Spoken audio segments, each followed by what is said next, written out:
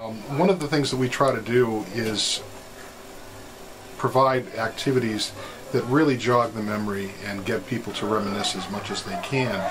With Rocky Point, anyone living in Rhode Island obviously has been there or knows of it or knows people that have been there and they all, all have stories and that, that's what we found this whole week.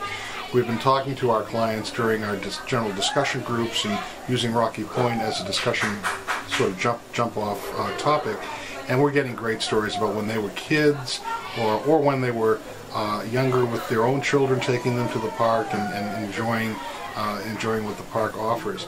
Had a good swimming pool. That was good. I like that. And uh, the clam chowder was excellent. Clam cakes. I enjoyed that. Uh, in terms of uh, the the cognitive uh, benefit, having having an event this big where so many of our clients can relate to it, it really is helping the, the long-term memory. It stimulates the long-term memory. And also uh, with the actual making uh, of the, the various signs and, and crafts that were done, um, it's, a, it's a, just a, a great therapeutic uh, process.